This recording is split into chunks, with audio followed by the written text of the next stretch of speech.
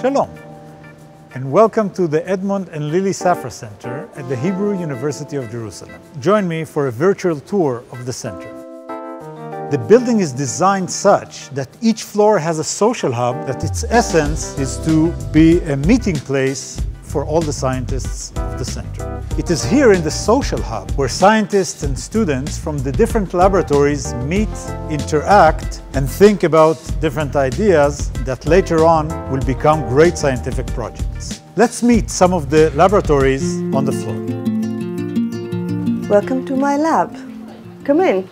My lab studies cognitive neuroscience, which asks the relationship between brain mechanisms and behavior, thinking, and perception. And specifically, we study skill acquisition, namely in the cases of dyslexia, where people fail to acquire proficient reading, and in cases of autism, where people fail to acquire proficient uh, social relations.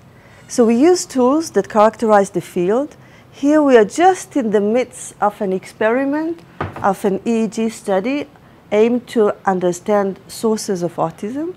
This is just the first stage. So Amos is putting the electrodes. After he finishes, we'll start recording from uh, electrical activity on her skull and study the dynamics of her learning. Here is the part of the lab where we look at our analysis for example, uh, these are data from an imaging experiment studying differences between individuals with dyslexia and individuals without dyslexia when they listen to sounds. Let's see what's going on with the EEG experiment. We see both the ongoing recording just to verify that everything is okay and we can also track the accumulative responses throughout the experiment. So this was a very quick virtual tour of my lab, but the real essence of what we do is in how we ask questions and how we analyze our data, and I'd be very happy to talk more about it in an actual conversation. Now we will visit the laboratory of Dr. Naomi Habib, one of our youngest and brightest researchers that studies Alzheimer's. Shalom, Naomi. Hi, how are you? Great. I'm going to leave you in the capable hands of Naomi to explain about her laboratory. In our lab, we're trying to understand uh, processes like Alzheimer's disease and other aging-related pathologies. Unlike other labs in the world, we have a unique approach where we are not trying to study only a single cell type in the brain, but rather to understand really complex cellular environment in the brain.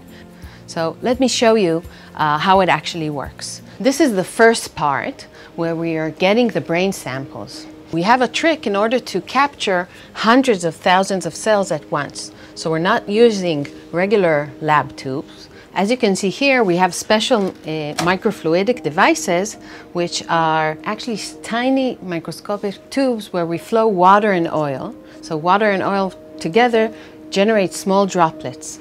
We then flow cells from the brain into these microfluidic chambers, each tiny droplet will capture a single cell. And we do that for hundreds of thousands of cells because the flow is so fast. From here, we have to use machine learning tools and uh, to actually uh, perform the analysis. So let me show you. The students are performing data analysis. And what we're actually doing is we're building maps of the brain.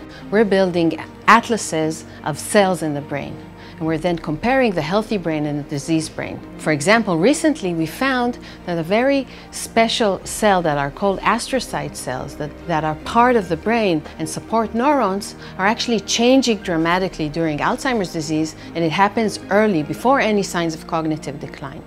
I'll take you to the last uh, part of the lab